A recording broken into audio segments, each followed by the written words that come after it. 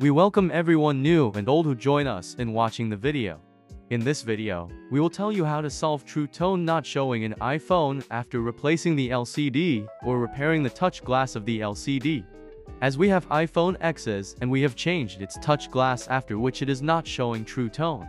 As soon as the ID is True Tone, we will connect the phone with the JC device, and after pressing the trust message, its program will be shown in the JC device. Here you have to enter the password that is set as a security lock on your phone. As soon as the screen lock is removed from your phone, as soon as the program is shown on the device, which we have to install in the new LCD or in the glass change LCD.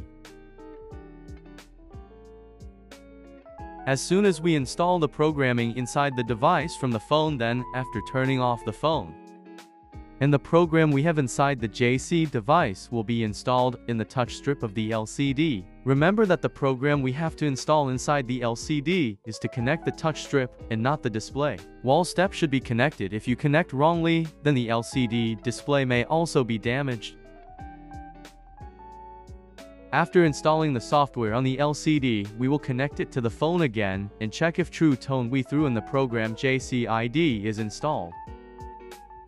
As soon as our phone is true tone on we show you by pulling down the shutter to see if the true tone we were installing has been shown on the phone. Thanks for watching this video please like and subscribe this channel and press bell icon.